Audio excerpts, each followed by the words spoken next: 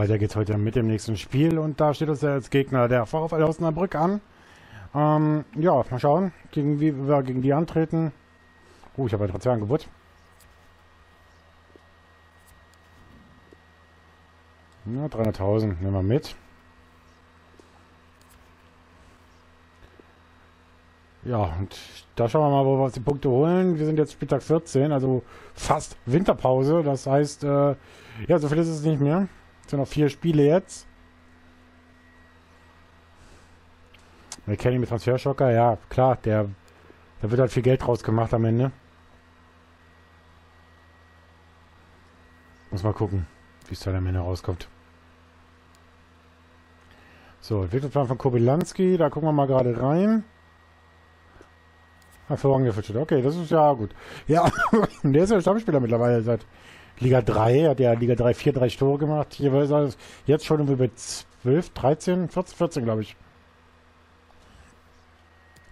Dauert jetzt im Moment, ja.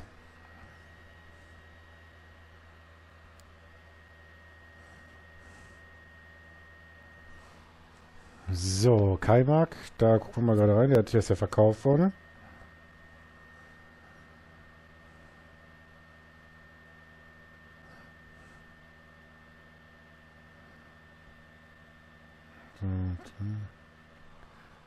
Der ist für 300.000 abgegeben. 190 kriegen wir dafür.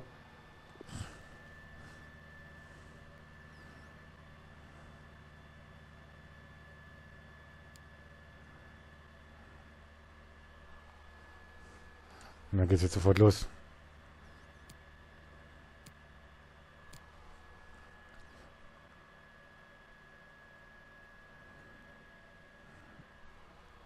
So, Spieltag 14 gegen den Tabellen 11. Und das ist das nächste, was uns jetzt ansteht. So, Kobylanski, da würde ich Tommy wieder vorne reinsetzen auf die 10. Das heißt, ich kann ja mal ein bisschen rotieren. Klar, wenn der eine Spieler ein bisschen platt ist, dann geht es halt mit dem nächsten. Jetzt der nächste halt da.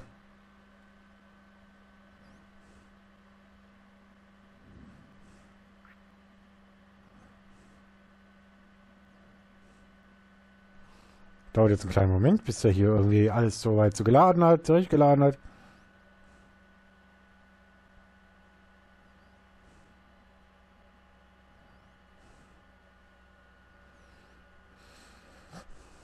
Und dann geht's los.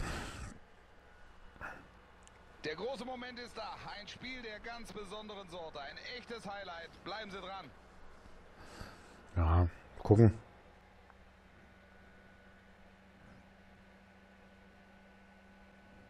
Bei bestem Fußballwetter melden wir uns heute, liebe Zuschauer. Ich begrüße Sie herzlich zu diesem Spiel. Heute Abend am Mikrofon sind auch heute wieder Wolf Fuß und der Kollege Frank Buschmann. Und bei uns geht es am heutigen Tage um ein Spiel in der zweiten Bundesliga. Ich bin sicher, das wird ein tolles Spiel. Ein spannendes Ligaspiel also, Wolf. Beide wissen, worum es geht, gerade gegen diesen Gegner. Und das merkt man auch, wenn man die Fans beobachtet. Eine extreme Erwartungshaltung vor dieser Partie. Treffsicher sind sie ja. Das wollen sie sicher 48 Tore mittlerweile. Und sie haben natürlich auch in dieser Partie beste Chancen.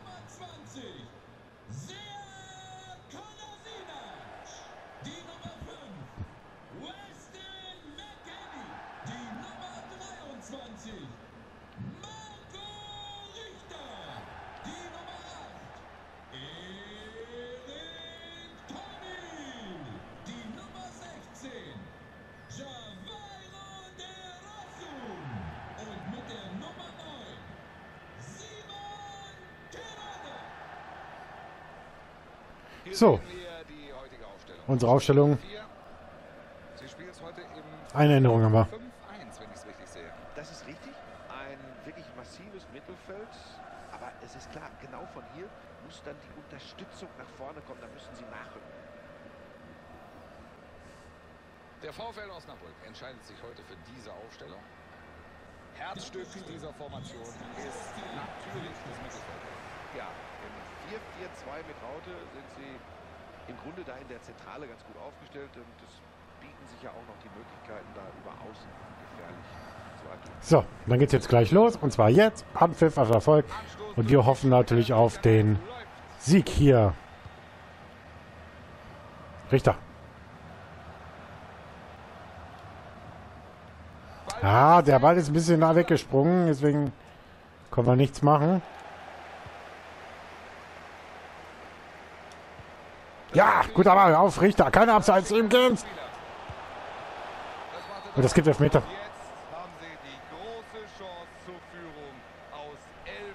Es gibt auch nur Gelb für den Verteidiger, der aus der Brücke für Bermann. Er. Wobei das auch eine andere hätte auch durchaus Rot geben können, weil der Abschluss ist ja erfolgt. Da war er definitiv gnädig, weil das hätte auch glatt Rot geben müssen. Fast.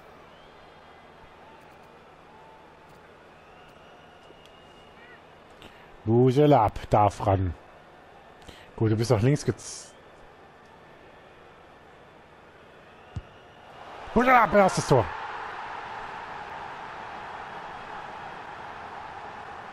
Trifft. Ja, der Torwart ist nach rechts weggezogen, deswegen dachte ich mir, jetzt haust du den links ins Eck unten. Aber Nassim Bujelab ganz sicher macht das Ding. Ist natürlich souverän verwandelt. Den Keeper ausgeguckt. Okay, dieses Tor gucken wir uns gerne nochmal aus einer anderen Perspektive an. Ja, da ist auch schon der Treffer. Ja, auch am Spielfeldrand große Freude über diesen Führungstreffer.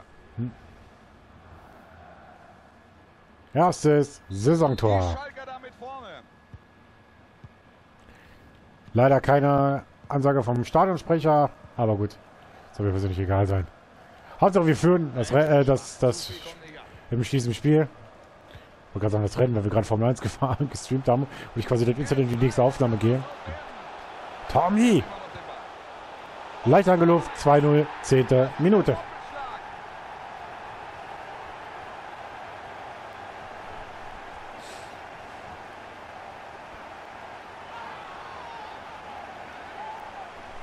Das ist Wahnsinn.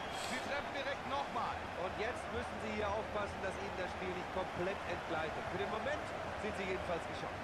So, jetzt können wir uns den Treffer nochmal genau anschauen. Diesmal aus einer anderen Kameraperspektive.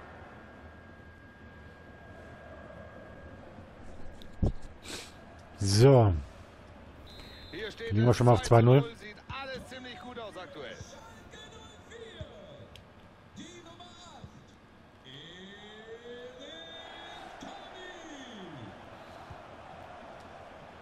Reichel. Nee. Ja, da will er, ich will mal wieder zu Null spielen. Leider nur das Spiel gegen St. Pauli, da wo wir zu Null gespielt haben in letzter Zeit. Selbst gegen Sandhausen im letzten Spiel haben wir noch das eine Tor kassiert, aber ja 4-1 nur gewonnen. Gut abgefangen. Also, wir führen nach ungefähr 20 Minuten oder knapp 20 Minuten, 17, 18 Minuten gespielt mit. 2-0 McKenny, der da ein bisschen zu, das Ganze versucht ein bisschen zu offensichtlich zu machen, aber dann das Ding sich noch holt. Bujelab, der Torschutz zum 1-0. Das könnte was werden jetzt. Ja, schönes Ding von Tommy, der jetzt mit Power da vorbeigeht und auf 3-0 steht. Ohne Worte.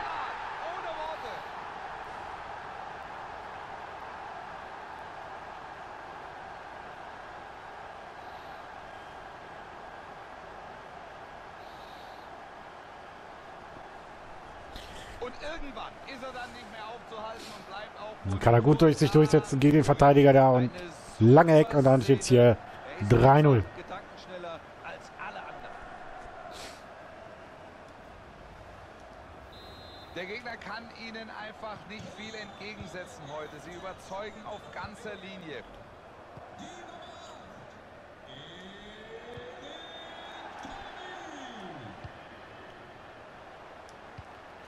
So.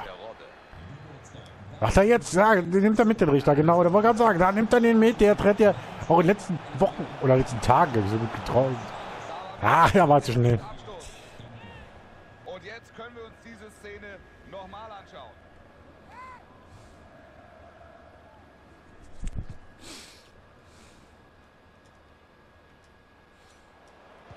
geben den Ball ab. Ja, gut gemacht. Oh, da unten ist keine Abseits, weil da noch ein Verteidiger drin steht. Richter kann er jetzt nochmal. Und den verhindert der Keeper. Hier das 4-0 zur Pause.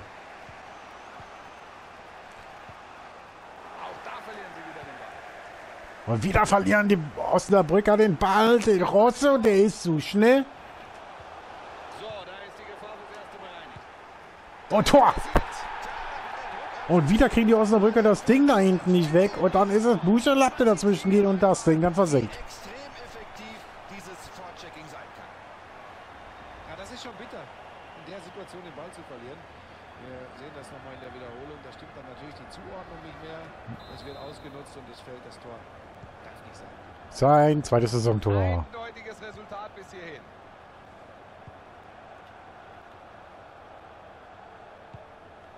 Balleroberung jetzt hier im Mittelfeld.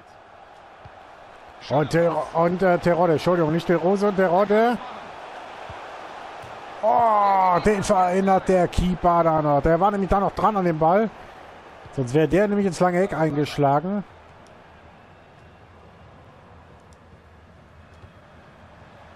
Tommy.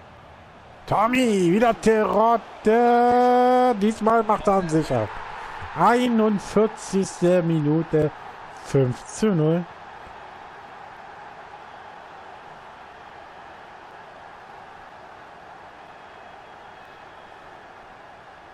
So, wir schauen uns die Wiederholung dieser Szene nochmal an. Erst kommt der Pass. Da hat er sich abgesetzt und die Verteidigung schlecht aussehen lassen. Er war einfach zu schnell für sie Ja, und versucht Immer wieder dieses Nachsetzen, draufgehen. Die Osnabrücker kommen gar nicht da hinten raus, dass man da irgendwas versuchen könnte. Sondern. Direkt der Er Nachdruck. Und die meisten Abpraller sind dann drin. Ja, Ganz bittere Nummer mittlerweile. Jetzt steht's 5 zu 0.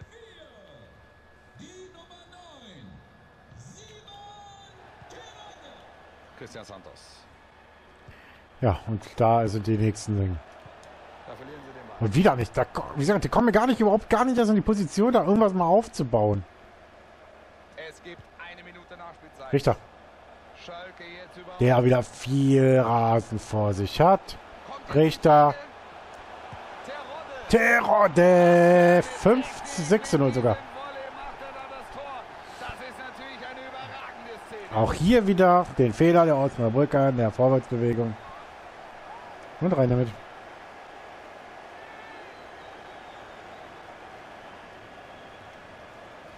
Nochmal dieses Tor. Wir sehen, wie er die Gegner reihenweise stehen lässt. Ja, da steht er wieder ganz alleine, braucht er nur ein bisschen anzulaufen. Der Keeper hat keine Chance. Der Ball fliegt ein. Und hier ist das nächste Tor gefallen. Das Debakel ist schon nach Halbzeit 1 perfekt. 6 zu 0 der Zwischenstand. Hand aufs Herz, Frank Buschmann. Ist das Ding hier schon durch? Sieht fast so aus, obwohl wir haben ja noch eine Halbzeit zu spielen, aber das ist eine eindeutige Führung.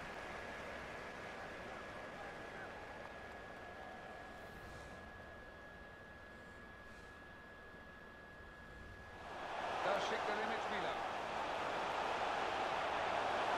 Das macht der Torwart gut. Den Ball hat er.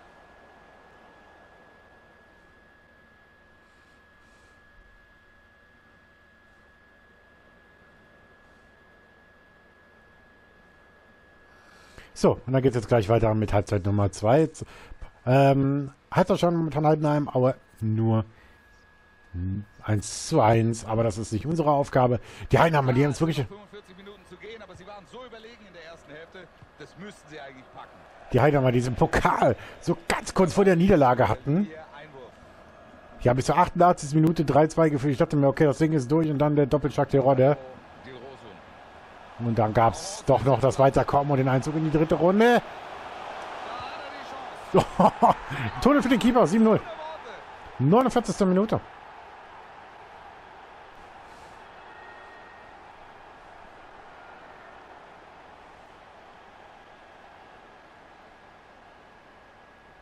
Wir schauen uns die Wiederholung nochmal an. Er zieht er an seinem Mann vorbei. Ja, da hat er die Situation blitzschnell. Ja, und der Rosen, der ist einfach so schnell da außen. Und der gab, glaube ich, sogar noch, ging, glaube ich, sogar noch durch die Beine. Und ja. Da konnten sie ihm nicht mehr folgen. Ja, er kann natürlich zufrieden sein mit dem, was seine Mannschaft hier heute zeigt. Deutliche Führung, genau so hat er sich das erhofft. Also Terror de Momentan mit den Toren. Also mit zwei Toren jeweils. Richter hat einen Doppelpack gemacht. Ja, und dann eben jetzt gerade noch der Rose und der mit dem nächsten. Also die Offensive trifft gerade, wie sie Lust hat. Richter. So, Konterchance, vielleicht jetzt. Das könnte was werden. Lange Flanke. Und den verhindert der Stürmer, äh, den Verteidiger da, dass, dass der Rose da nicht reinkommt. Kerket raus. Nichts auf die Reihe gekriegt heute. Ecke kommt in die Mitte. Lieber geht auf Nummer sicher. Faustet diese Ecke. Ah, das war ein Ballverlust. Nach der eigenen Ecke. Ah, okay, der hat ihn.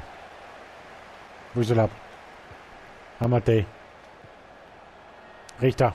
Ja, könnte was werden. Der wieder bei die Außen geht. Terodde. Nein, es war nicht Terodde. Bayern sind weiter im Bedrängnis. Nee, Tommy war es, glaube ich, mit den Toren. Der, Tommy hat ja zu. Ah, ist egal, wer es gemacht hat. Hauptsache, wir haben die Tore. Santos, den Dragovic. Den er jetzt natürlich komplett rauszieht außen. Und es war keiner faul. geblockt.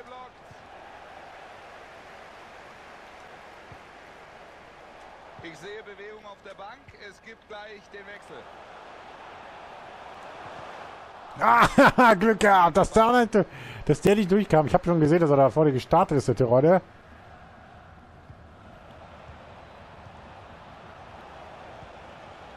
Christian Santos Abseits. werden. Da ist er zu früh losgelaufen. War nicht zu übersehen, abseits. Ja, Mann, der gelb vorbelastete Innenverteidiger. Wo hatte schon relativ früh den Elfmeter. Ah, Der verwahrte Spieler muss runter. ja, sicher besser so, da geht der Trainer kein Risiko. Und jetzt sind hier noch 20 Minuten zu spielen. Klasse Pass. Ball auf es doch Und das Tor. der wohl zum Verkauf steht. Alles offen.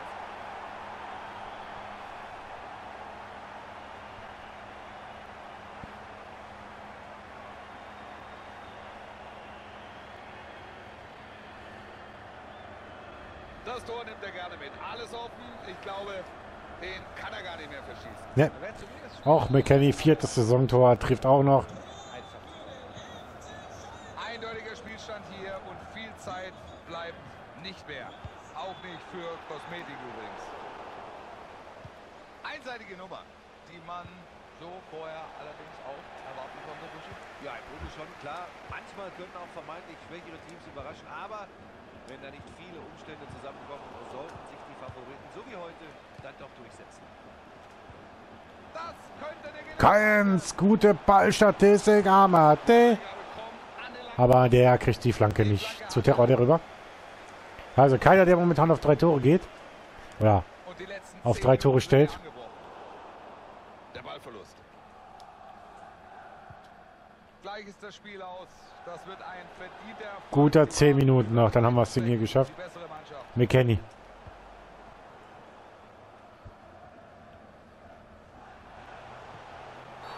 Und das gibt die nächste Karte. Also die Frage ist, was es gibt, ob es gelb gibt. Ich vermute schon. Ich glaube nicht, dass es glatt rot gibt. Oder sagt der Schiedsrichter sogar, ja, speist ihn vom Platz. er sieht gar nichts. Okay. Geht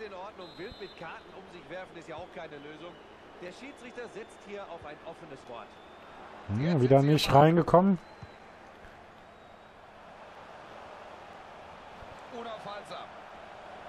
So, jetzt einmal der Ball. Amate, der jetzt durchmarschiert da unten. Und dann Unglaubliche Parade. Richter, der es nicht macht.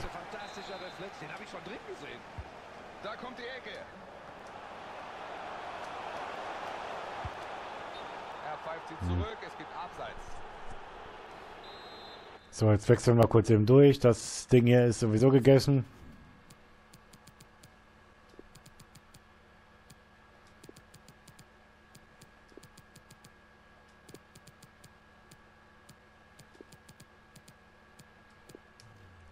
Kann man eben kurz die dreifache Wechsel machen, damit die alle ihre Einsätze bekommen.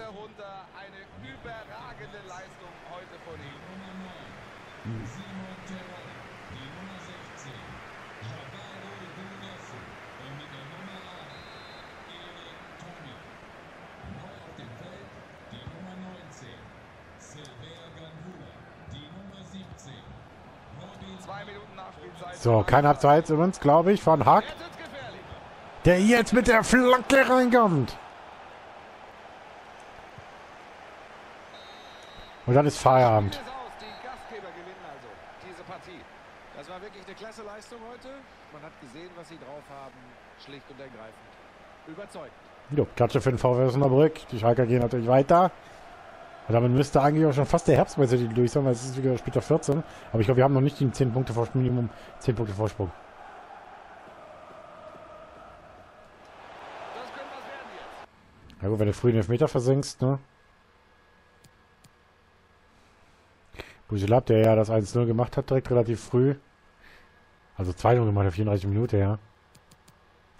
Naja, passt. Bin zufrieden. So. Oder auch mal wieder zu Null, vor allen Dingen. Heidenheim, Aue schlägt, gewinnt in Heidenheim.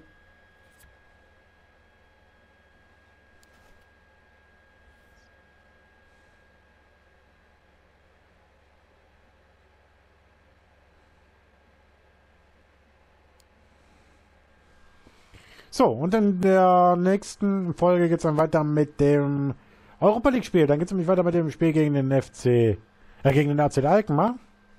Wenn ich es richtig im Kopf habe. Und ja, wenn Alkmaar gewinnt sollte, Sevilla verlieren sollte, dann ist theoretisch noch mal ein bisschen Spannung mit drin. Aber, aber das, ob das passiert, sehen wir uns in der nächsten Folge an. Und ja, ich wünsche euch was. Bis dahin und tschüss.